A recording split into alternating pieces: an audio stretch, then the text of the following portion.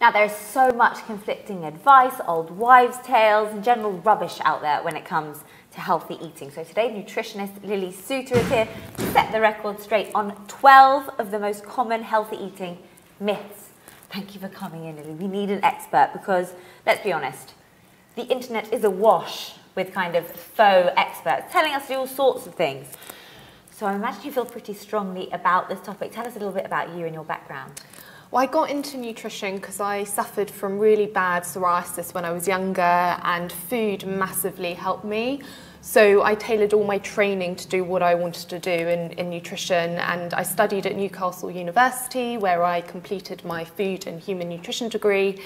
And I did a further two years uh, doing nutritional therapy, and I'm completing my MSc in nutritional medicine at the moment at Surrey. Well qualified. Yeah. We, can, we can guarantee we ain't got no frauds on here today. So Let's start. Egg yolks raise cholesterol. True or false? Well, false. So there is a, definitely a common misconception that we need to stay away from egg yolks because they raise cholesterol. And this is because egg yolks actually contain cholesterol. But the research has shown... May I just ask, there's good and bad cholesterol though? There, there is. Is that true? Is that a myth? That, no, that is actually true. There is good and bad cholesterol. However, dietary cholesterol doesn't correlate with increased blood cholesterol. Which is the good one. Yeah, and, and up to one egg per day is absolutely fine uh, alongside a balanced diet. And it's really important to check what are you cooking your eggs with. So for example, if you're scrambling them in lots of saturated fat like butter, or you're combining them with fatty cuts of meat like bacon, it's more likely to be the saturated fat which will raise the harmful cholesterol rather than the egg yolks in and of themselves. People just want to cut the yolk because they don't want to cut the bacon. Well, yeah. well, sorry guys, I hate to ruin it for you. Right, fruit is high in sugar, therefore we need to limit intake. This is, I feel like, is a real faddy misconception, hopefully. Absolutely. And there is a lot of confusion as to whether we should cut back on fruit. You may have heard of people saying bananas make you fat or fruit is high in sugar, so it's very unhealthy. But really, the sugar in fruit is actually locked into a fibrous matrix, which helps to slow the rate at which the sugar is released into the bloodstream. And what's more, fruit has a very high fibre content, and this fibre has satiating properties. So it helps to keep us full. So you won't really hear of people eating 10 oranges in a row, but you may drink a glass of orange juice which has 10 oranges juiced. And it just shows the power of fibre on how it makes us feel. Interesting. I mean, I feel like juicing is a whole other topic, but we can't get into that right now. Um, carbohydrates make you fat. I mean, classic. Again, very common misconception Good. and an overconsumption of any kind of food group will lead to weight gain. It's important to know what are you combining your carbs with. So if you are adding lots of butter to your toast or you are having heavy pasta sauces or fatty chips, it's the overall caloric value of that dish, dish which will lead to the weight gain rather than the carbs. Carb itself, okay. Yeah. So all of this seems to be like you need to have a general overview of what you're consuming. It's yeah. never just the one thing. Absolutely. Huh, yeah. Look at me learning. right, unrefined sugar, huh, is healthier than white sugar. Big on Insta, I'd say. Mm. This kind of healthy baking with, you know, yeah. none of the refined sugar. Which I guess the issue there is that it can lead to overconsumption of sugar because we perceive unrefined as much healthier. And I guess this perception comes from the fact that unrefined sugar does tend to have more vitamins, minerals, and antioxidants. But for those vitamins, minerals, and antioxidants to have any impact on our daily nutrient status, we would have to eat a lot of sugar, and that would entirely negate the benefits. right. Yeah. So, sorry, no. Yeah. So, would a cube of regular chocolate versus a cube of, I don't know, date syrup chocolate if that even exists, be any different really for you on your sugar consumption? Very marginally, very marginally. So you don't need to get yourself in a tiz no, on that. No. Just have a little. Absolutely. For those that can stick to a cube, good for you. Uh, all low fat yogurt is high in sugar. And I feel like this is definitely something I believe because if they've taken out the fat and the kind of flavour and fullness, what they're putting in to compensate. But please, tell yeah. me wrong. So again, it's a myth. You know, a lot of low-fat yogurts, if they are flavoured, they can have added sugar to counteract that tart flavour. But it doesn't apply to all low-fat yogurt. Right. Generally, if it's flavoured, that's what's to look out for. And always check the back of the label to see if there is added sugar because yogurt naturally contains some intrinsic sugar.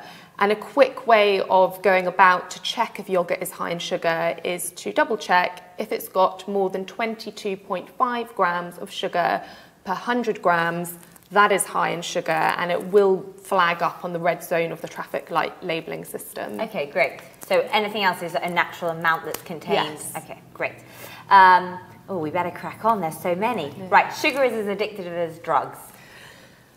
There's a lot of confusion around this, a lot of debate. Most of the research has been done on rats, where when they are exposed to a sugar solution, they will probably display addictive binge like properties, but it's only when they've been deprived of food for a period of time.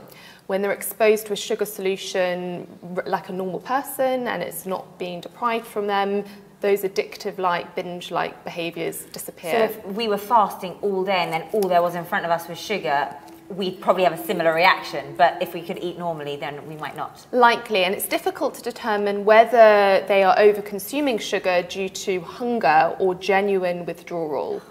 So we need to test it on humans, really, and Absolutely. chat to them about it. Absolutely. Any volunteers?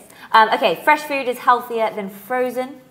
Not always the case. When frozen food is actually frozen, it's picked at its ripe, uh, when it's most ripe, and therefore it could have more nutrients. They degrade more slowly when it's frozen as well. So if you buy it frozen but use quite instantly once you have them, it should be okay. Yes. Um, nuts will cause weight gain. The era of nut butter is upon us, so tell me that ain't true. Yeah, so there's some interesting research which had about 100 females where they were overweight and they had a handful of nuts each day, and they lost more weight than those who didn't consume any nuts. And it's thought that these properties are down to their satiating effects, which is due to the fibre, protein, and healthy fats found in nuts. So they could help with weight loss, but nuts are high in calories, so you don't want to overconsume them. Right, so it's have your handful, but you don't need to be like gorging on Yes. packs of nuts. Yeah. Again, moderation. I mean, it's the same thing that we do know, we just don't want to hear, I think. Yeah. Um, canned vegetables are always less nutritious in comparison to fresh. Not always the case. Oh. Uh, so if you look at canned tomatoes, they actually are richer in an antioxidant called lycopene. And lycopene gives canned tomatoes that red, vibrant sort of colour.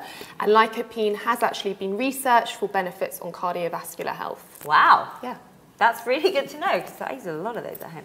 Right, hot water and lemon alkalizes the body. I mean, surely that must be true.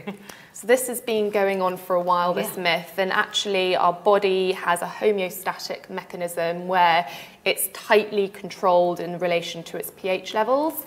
If our bodies were too acidic, we would be very ill in hospital, and no food or drink will alkalize the body. right, so that's just a mental, nice cleansing thing to do, but mm-hmm. there's no absolute beneficial No. impact to it. Coffee is unhealthy. Say it ain't so. Excess consumption isn't going to be great, but coffee is also very rich in antioxidants, which could have beneficial effects on health.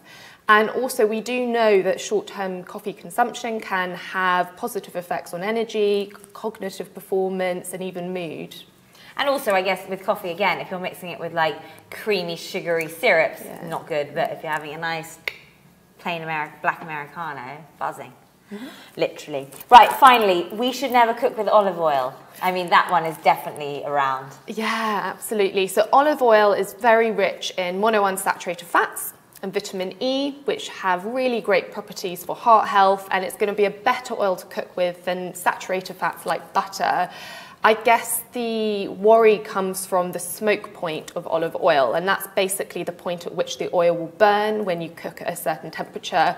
But really, when we're frying, we fry at around 170 degrees, only for a couple of minutes, so olive oil should be fine. But if it is of concern, you could use something like refined olive oil, which has a higher smoke point. Right. Okay. And Yeah. coconut oil, just quickly. Coconut oil is fine. It's still a saturated fat at the end of the day, so moderation is going to be important. Um, avocado oil has not really had much PR around it, but it actually has a higher smoke point than coconut oil. Oh, so that would be a good one. Yeah, and it's a monounsaturated fat, which could be an option. Oh, good to know. Everyone load up on the avo oil. All right, Lily. Well, I think you've cleared up a lot there. Thank, Thank you, so much for joining us. If you are looking for more nutritional advice, please do go and visit www.lilysoutternutrition.com.